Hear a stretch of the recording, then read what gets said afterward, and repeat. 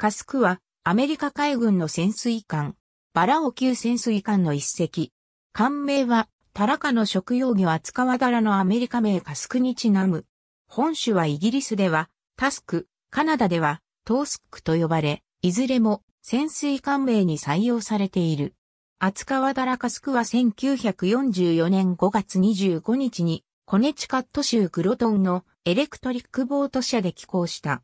1945年7月28日に CS ジレット夫人及び WG リード夫人によって命名、浸水し、1946年2月5日に艦長ポール・イー・サマーズ中佐の指揮下収益する。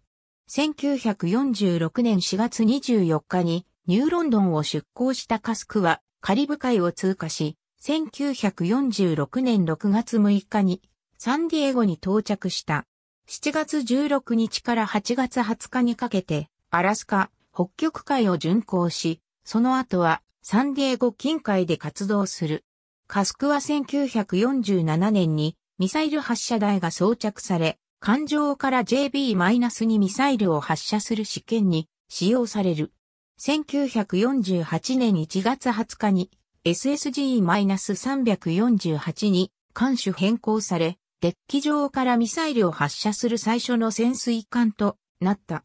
カスクは1954年にフリートシュノーケル改修及び近代化のため、メアアイランド海軍造船所入りし、1954年7月1日に再び SS-348 へ艦種変更されたものの、特別誘導設備を装備していたためレギュラスミサイル、計画に止まった。1957年5月13日に、カスクは新たな母港の真珠湾に到着する。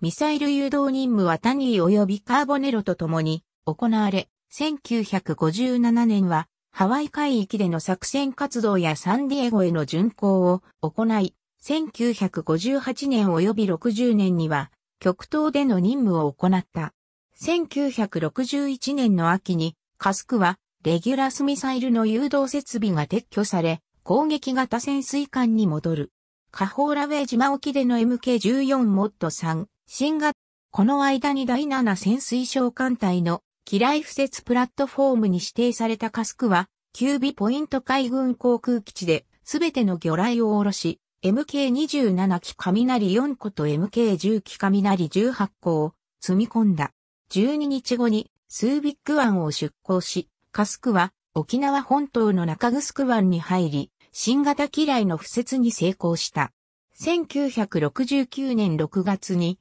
国防長官は老朽化した艦艇100隻の退役を命じた。カスクはリストの中にあり、ギース -348 に艦種変更された。1969年9月にサンフランシスコのハンターズポイント海軍造船所へ向けて最後の航海に出港し、カスクは1969年9月24日に退役、同日除籍された。カスクは1972年6月26日にスクラップとして売却された。KGW-1 ルンを発射するカスク1951年。ありがとうございます。